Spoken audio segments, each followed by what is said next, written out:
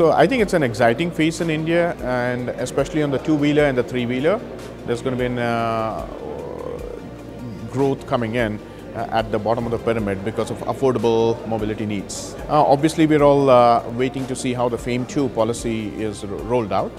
Uh, I believe in the short term, both on the two-wheeler and the three-wheeler, some sort of a uh, support would be helpful to get this industry going.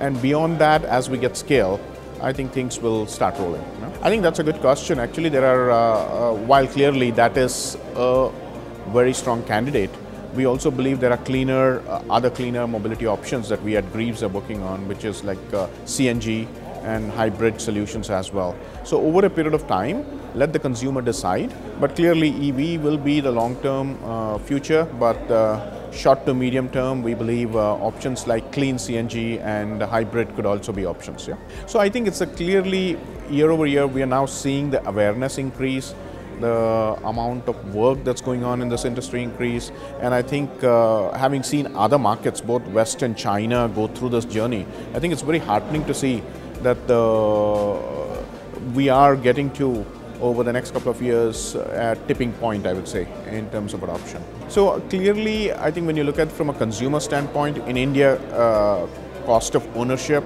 as well as range anxiety, I think those will be the two key areas.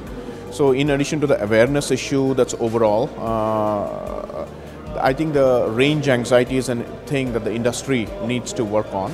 And uh, I know there is a lot of infra build up that's happening, both on the EV side as well as on the CNG side. And I think as the infrastructure comes in, in terms of char charging facilities and uh, as well as the battery prices going down, we believe that the, uh, the industry is poised to grow.